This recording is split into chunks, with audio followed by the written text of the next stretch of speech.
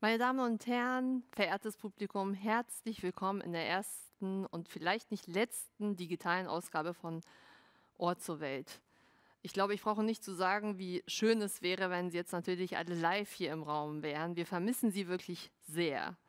Aber wir sind auch guter Dinge, dass es hoffentlich auch bald wieder möglich ist, Sie hier wirklich live und lebendig im Körperforum begrüßen zu dürfen.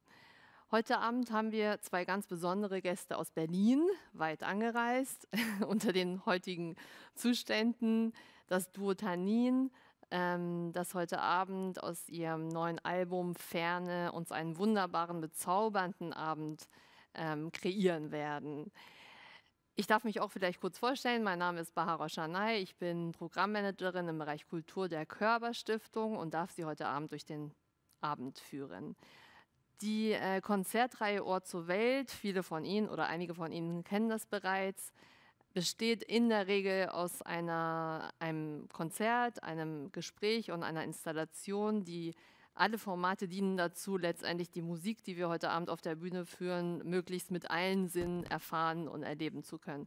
Vieles davon fällt natürlich leider heute Abend weg, aber wir versuchen so gut es geht, die Energie und die Kraft, die die Musik hier auf der Bühne hat, über die digitalen Medien, die wir heutzutage haben, ihn möglichst hautnah zu vermitteln und ihn so nah wie möglich nach Hause zu bringen. Ich wünsche Ihnen jetzt ganz viel Spaß beim heutigen Abend und viel Freude beim Zuhören.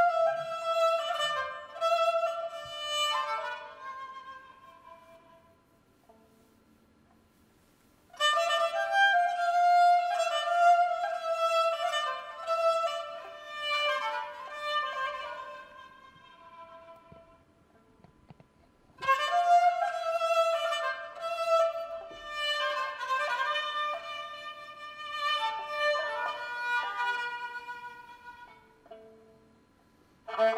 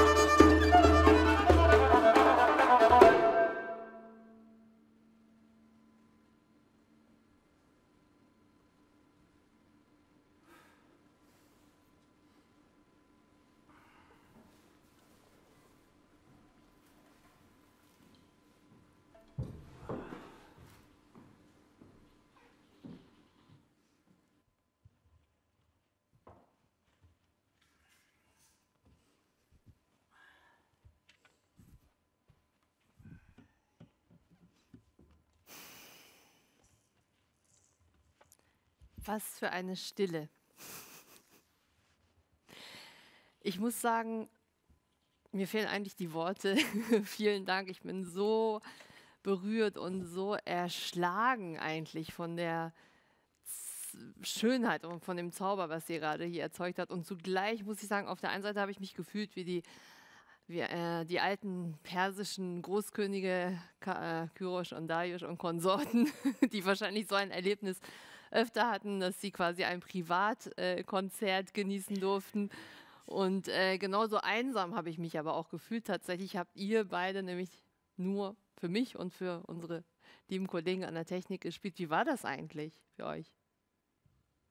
Das ist nicht üblich. ja, schon äh, sehr ungewöhnlich. Dann hat man irgendwie alles gegeben und dann ist Ruhe und dann kommt halt nichts in dem Moment. So. Ähm, aber du hast vielleicht gemerkt, manchmal habe ich auch zu dir geguckt, da war ich so, ah ja doch, wir haben eine Zuschauerin, so, die nur zuhört. Und ähm, ja, in der Musik selber kann man dann einfach in die Musik reingehen, aber klar, die Resonanz fehlt einem trotzdem dann, ne? Also, ja.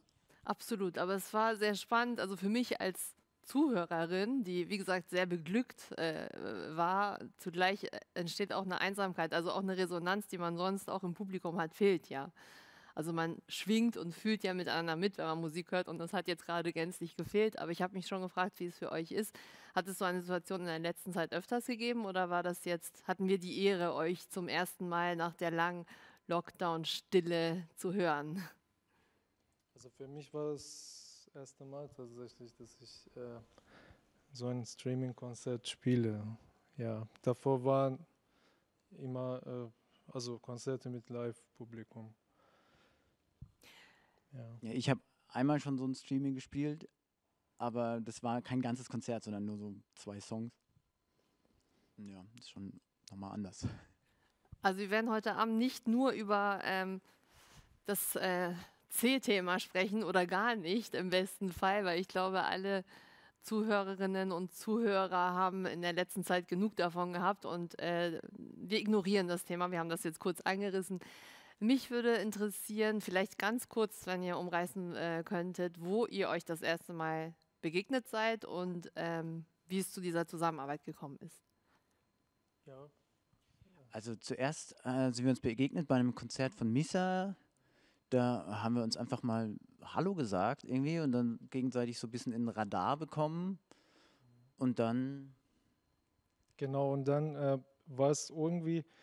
Ähm, ähm, wurde zeitgleich äh, zu meinem Anliegen, ähm, einen Perkussionisten zu finden, der ähm, sich äh, sowohl mit orientalischer Musik äh, gut auskennt, wie auch ähm, mit anderen Musikrichtungen. Und ähm, Sebastian habe ich ja oberflächlich erstmal kennengelernt und dann ähm, wurde durch einen Musik Musikerkollegen mir nochmal vorgeschlagen, dass ich auf jeden Fall ihn kontaktieren soll und er wäre die gute Adresse und die richtige Adresse, ähm, also für mein, äh, meine Idee und dann habe ich ihn kontaktiert und genau, dann haben wir irgendwie geprobt und für mich ist das irgendwie auch so ein lange gehegter Traum, weil ich immer mit Kemanche spielen wollte und dann war irgendwie ziemlich schnell klar so, also er kam da an mit so einem Riesenpaket von Stücken so, und dann so äh, krass, ja, die müssen wir aufnehmen. So. Und so kam es dann zu dieser CD Ferne, die jetzt 2019 ja. erschienen ist. Genau. 2019 erschienen und ihr hattet vorhin erwähnt, dass ihr tatsächlich auch zeitgleich an einer neuen CD gerade arbeitet. Heißt sie dann äh, Nähe hoffentlich nach den letzten eineinhalb Jahren oder worauf arbeitet ihr jetzt hin? Was wird es als nächstes zu hören geben von euch?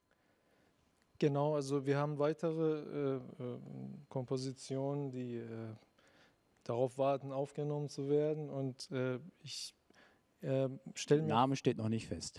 Genau, das müssen wir auch irgendwie festlegen. Aber äh, also die Stücke sind fertig, fast alle. Ähm, wir werden nach diesem Konzert allmählich anfangen, so intensiver daran zu arbeiten.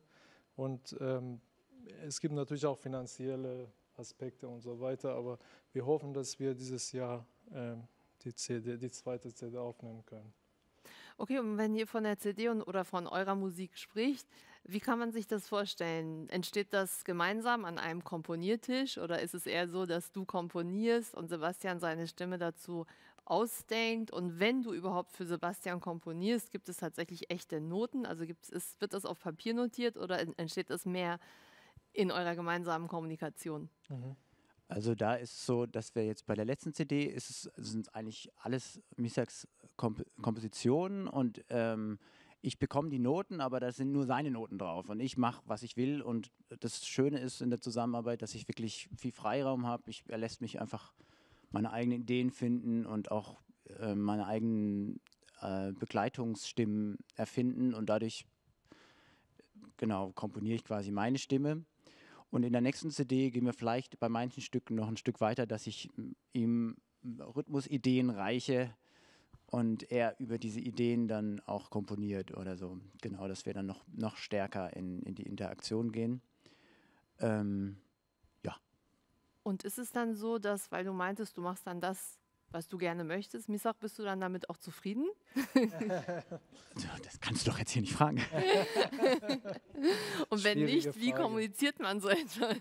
Natürlich, wir gehen einfach ins Gespräch und Diskussion und äh, wie gesagt, wir werden, also wir ähm, ähm, befassen uns wirklich äh, auch in einer ehrlichen Weise äh, mit, mit der Musik, die wir schreiben und wir versuchen das Beste daraus zu holen. Also ähm, Sebastian hat immer Vorschläge, ich auch und genau. es ähm, baut sich einfach so auf. Also eine Idee entsteht, vielleicht ich bringe ein Stück oder so und äh, wie gesagt, bei, bei der zweiten CD ist so, dass Sebastian auch äh, einige Kompositionen mitbringt und wir diskutieren darüber, weil wir unser Instrument natürlich besser kennen und ähm, dann Ge entsteht daraus. Äh genau, aber sonst sind wir schon stark im Austausch. Ich schlage ihm was vor, ich höre jetzt das Instrument und vielleicht mache ich hier so einen Gegenrhythmus oder mache ich gehe ich hier mit oder so. Aber prinzipiell ist ja, also im, improvisiere ich, tänzle ich gern dann so drumrum und dann sagt er jetzt nicht zu jeder Idee, die ich habe, was oder so. Aber mhm. es ist dann auch mal andersrum, dass ich zu ihm sage, ah, dieser Teil, der können wir den nicht irgendwie da weiter hinten hinsetzen oder vielleicht sogar rausnehmen oder was ist, wenn du da also wir geben uns da gegenseitig schon Feedback, was wir cool finden. So. Es gibt also keine Streitereien in der Hinsicht. Okay. ich habe nämlich mal nachgeschlagen vorhin tatsächlich, es trennen oder es verbinden euch ja 5872,4 Kilometer. Du bist in Mashhad geboren, in der äh, Provinz Mazandaran im Iran und du bist in Freiburg geboren. Das ist schon ein großer Unterschied und äh, ihr trifft euch oder ihr habt euch getroffen vor jetzt ähm, zwei Jahren, zwei Jahren in Berlin. Das ist schon so, dass ihr aus zwei verschiedenen Welten kommt. Macht sich das in eurer Arbeit oder auch in eurer zwischenmenschlichen Kommunikation manchmal bemerkbar? Gibt es da Missverständnisse? Gibt es vielleicht sogar im Gegenteil ein, eine sehr gute Basis von, von Verständnis, obwohl ihr aus so zwei verschiedenen Polen kommt? Wie würdet ihr das beschreiben? Ähm, also für mich überhaupt nicht. Das ist genau, wie gesagt, mein Gedanke gewesen von Anfang an, dass ich mit einem Musiker äh, zusammenarbeite, der nicht unbedingt aus, aus Iran stammt, mhm. ähm, damit wir wirklich, also so gut es geht, versuchen, einen neuen Weg zu gehen. Ähm, dass, dass mein Musikpartner ähm, sozusagen die Ideen aus, aus dem Bereich mitnimmt, den ich nicht unbedingt kenne. Und deshalb ähm, war mein, mein Anliegen, das, ähm, also so einen Musiker zu finden. Und ähm, deshalb ähm, finde ich, das ist eine gute Basis, also für mich. Ähm. Und das Spannende ist halt auch, dass ne, ich viel äh, über persische Literatur, Kultur gelernt habe, kennengelernt habe, dort gewesen bin, gelesen habe, Freunde habe, die aus Iran stammen und Misak auf der anderen Seite aber auch sehr viel Interesse an äh, europäischer Kultur hat. Und dadurch haben wir einen, einen, großen gemeinsamen Respekt, aber auch einen gemeinsamen Grund in einfach ähm, in, in, einem auch künstlerischen Hintergrund, weil wir, wir kennen schon viele ähnliche mhm. Musik zum Beispiel, was ja. man jetzt trotz der vielen Kilometer vielleicht ja. nicht denken kann. Also das Interesse ist, äh, besteht nicht in, nur in der Musik, sondern auch in anderen Bereichen. Literatur zum Beispiel haben wir äh, neu, also schon auch vor zwei Jahren äh, festgestellt, dass wir beide gerne lesen oder auch uns mit anderen Themen befassen. Und wo wir von Herkunft sprechen, vielleicht magst du mich auch einmal ganz kurz nochmal was zu dir sagen, zu deiner Kindheit, wie du zur Musik überhaupt gekommen bist, mit welchem Instrument du angefangen hast. Das war nämlich nicht von Anfang an die Kamonche. Richtig. Ähm, ich habe äh, relativ früh angefangen. Mit sieben äh, habe ich ja erst mit der Geige angefangen. Ähm, habe ähm, sozusagen die Ausbildung genossen mit einem sehr guten Lehrer äh, in meiner Heimatstadt.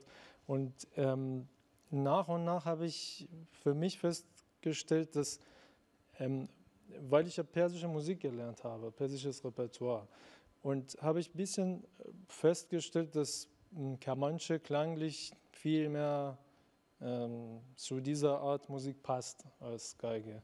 Und deshalb ähm, habe ich nach zwei, drei Jahren, ähm, also mit elf so ungefähr, habe ich Kamanche in der Hand genommen und seitdem ähm, geht es so weiter. Und seit wann bist du eigentlich in Deutschland? Ähm, seit 2006. Wie kam es dazu? Ähm, verschiedene Gründe. Also zum einen Studium. Ähm, hier habe ich Elektrotechnik studiert. Ähm, musikalisch war ähm, vielleicht der wichtigste Grund, äh, wieso ich ausgewandert bin. Und ähm, der Grund ist, dass ich, wie viele andere Musiker im Iran meiner Generation, ähm, überhaupt keinen Raum bekommen haben, musikalisch tätig zu sein, mhm. ähm, unsere Kunst zu präsentieren. Ähm. Eure Kunst zu präsentieren heißt was? Also wir beide wissen, was damit gemeint genau. ist. Genau. Kannst du das ein bisschen näher schildern, was für Regressionen wirklich im, im Iran herrschten oder auch nach, nach wie vor herrschen? Ähm, also mit der Regression meine ich, ähm, so wie vielleicht einige kennen, seit vier Jahrzehnten nach der Islamischen Revolution ähm, gibt es leider immer noch diese massive Einschränkung der Freiheit der Kunstausübung sozusagen.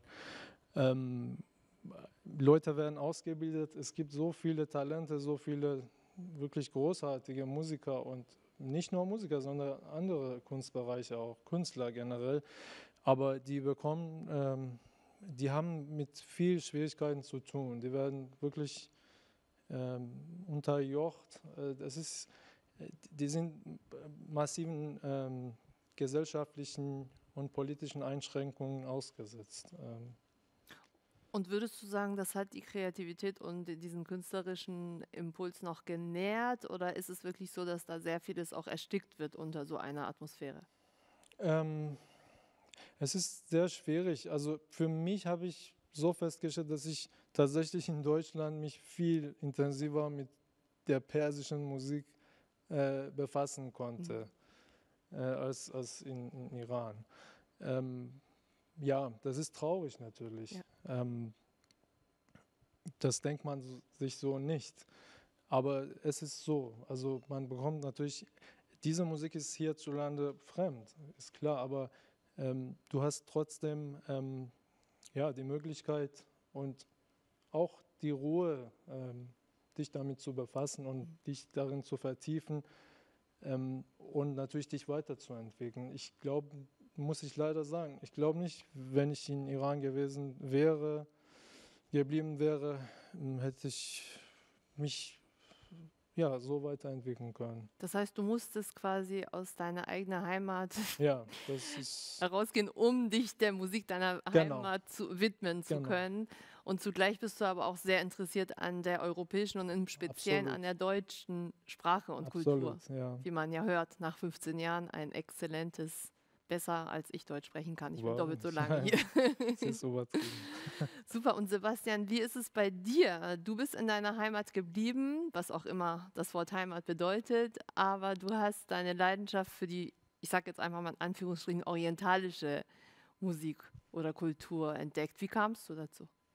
Ja, ähm, also das hat angefangen mit der CD-Sammlung meines Vaters, dass ich da irgendwie mich in so eine persische Musik-CD verliebt habe.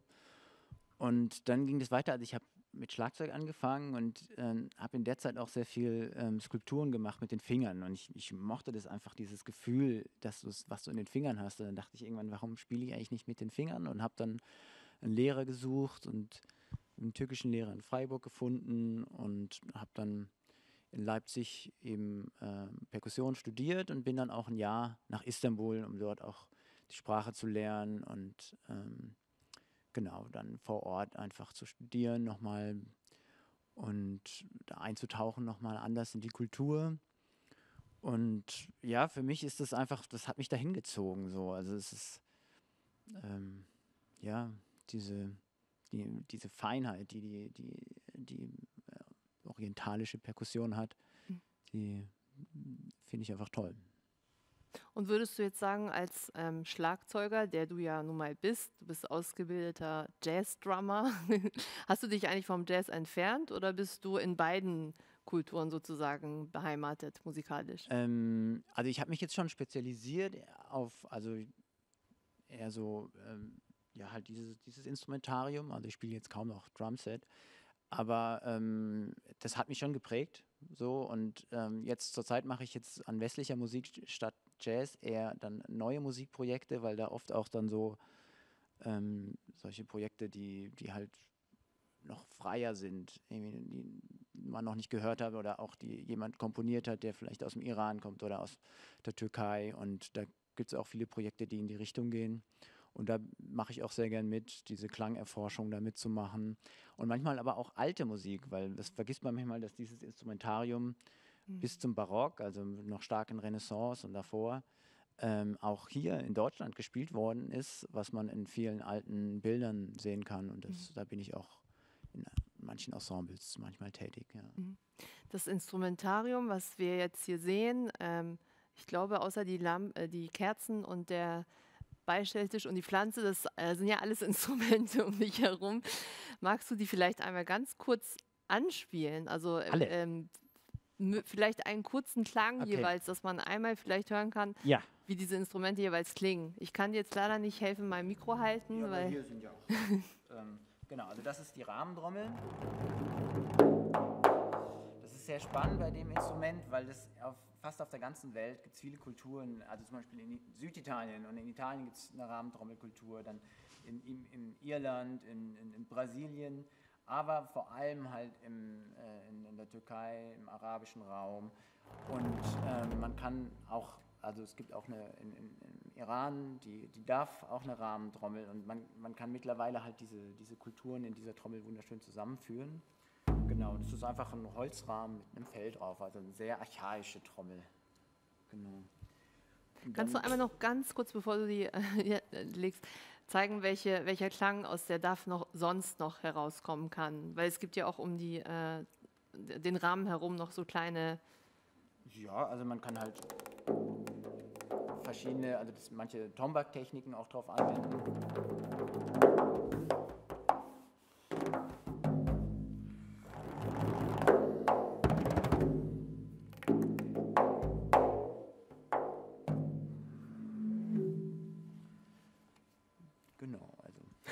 Okay, aber meistens auf dem Bein. Also Ach so, man kann sie auch so spielen. Genau, das wäre jetzt die, die persische Spielweise. Dann hält genau. man sie so in der Hand, aber da sind dann in, dem, in, der persischen Variante noch Ketten drin. Ach, da sind keine Ketten. Okay, Ketten hört man sie auch nicht. Gut, wunderbar. Ähm, genau. Und das ist die Darabuka. Und das ist ein Keramikkörper, auch mit einem Fell.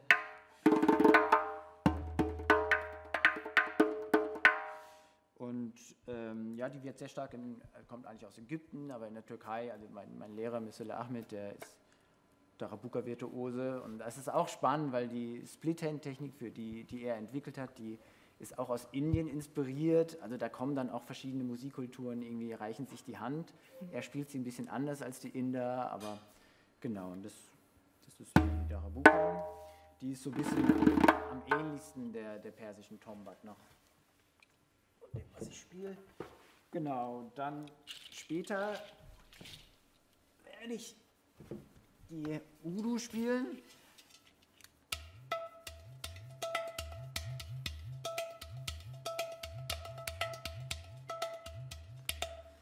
Genau, das ist eine reine Tontrommel, eigentlich eine Vase, kann man jetzt hier Blumen reinstellen, mit einem Loch.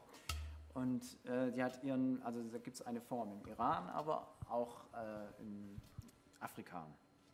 Genau. Und Ist nicht zum Kochen geeignet, ne? weil das erinnert ein bisschen an die Taj- ich habe es noch nicht Tajik. probiert, also mal gucken.